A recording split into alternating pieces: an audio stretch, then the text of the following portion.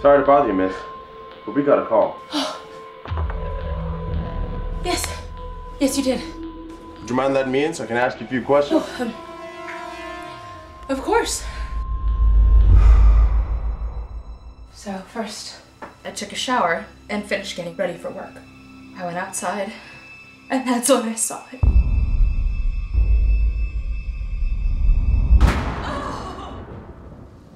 How did I get here? I am not the woman I used to be. You can do so much, Soosoo.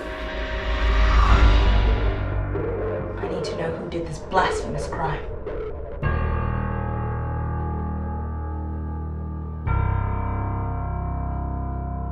You have been lying around, waiting for the answers to come to you.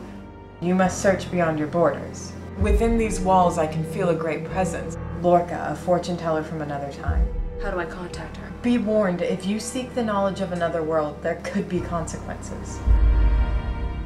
Why are you here, Sally? What do you mean? I came here to help you. I feel indebted to you. I'm your sister. What would you have done?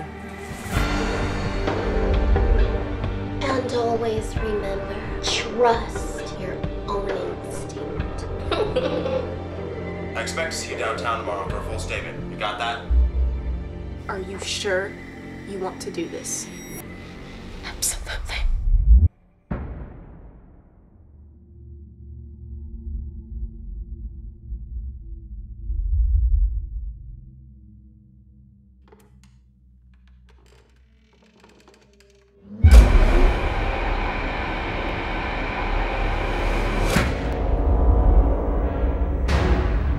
What happened last night? Why? It's important how we handle the next few days.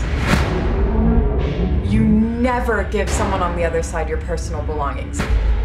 You've already given her too much power.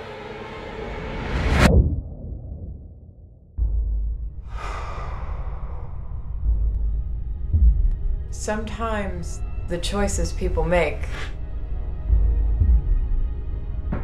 are only understood by those who make them.